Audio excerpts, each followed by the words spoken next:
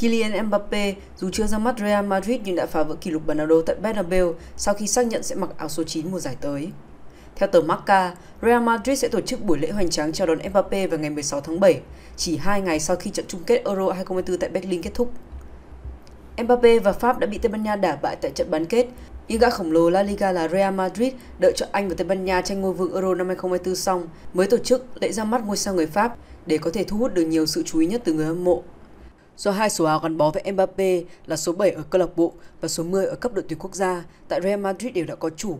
Do Vinicius và Luka Modric sở hữu, nên tay săn bàn 25 tuổi quyết định làm điều tương tự như Ronaldo khi khoác áo số 9 trong mùa giải đầu tiên tại Bernabeu.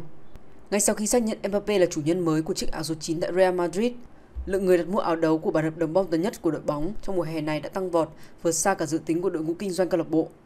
Marca cho biết hiện nhu cầu về áo đấu Mbappe số 9 đã phá vỡ hoàn toàn mọi kỷ lục trước đây của Real Madrid. Khi thời gian giao hàng thông thường là từ 3 đến 4 ngày thì giờ đây đã phải tăng lên từ 4 đến 6 tuần.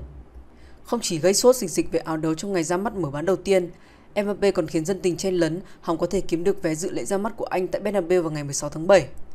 Theo kế hoạch, vé được mở bán từ ngày 12 tháng 7, nhưng từ vài ngày qua đã có hơn 100.000 người xếp hàng chờ sẵn, hy vọng sẽ nằm trong số 85.000 người, tương đương với sức chứa của sân vận động, để được tận mắt chứng kiến ngày Mbappe chính thức khoác lên mình chiếc áo của Real Madrid.